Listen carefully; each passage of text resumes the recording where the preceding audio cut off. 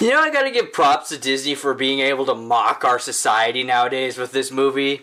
Gutsy move, Disney. Gutsy move. Hey guys, welcome to See or Not to See, and today we're going to be talking about Zootopia. So, Zootopia stars Ginnifer Goodwin as Judy Hopps and Jason Bateman as Nick Wilde. One thing that I really did love about this movie is the animation. The animation looks beautiful in it, and it's really, you know, it's a pretty to look at movie. The animation is very smooth, and the story's actually pretty good. It's like, it has its typical Disney moments in it, but it's a creative story. It's really good. You know, the character of Judy Hopps in the movie wants to become a police officer in the big city. It's a really fun movie. Oh, uh, and they threw a Breaking bad joke in there, so yeah, I gotta give the movie a good review for that. As I said in the beginning of the video, is that I really like that this movie like threw a lot of jokes out about a lot of the problems that we have in like society nowadays, like with some of the stuff, and they did a good job on that. Like good, they did really good commentary on everything. Something that I really liked. You know, it's, it's, it's nice to see that, and they made jokes about it. It's nice to see Disney like tackle some of these issues that you didn't think that they'd ever tackle, which is like something good for kids to see through the kids' eyes. You know, that's like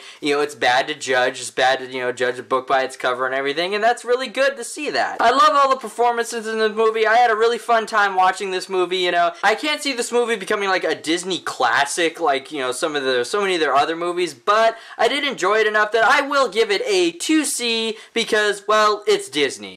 So that's it for me. As always, if you like what you see, go and hit subscribe. Follow me on Facebook and Twitter. The links are in the description below. And remember, I waste my money so you don't have to. Thanks for watching.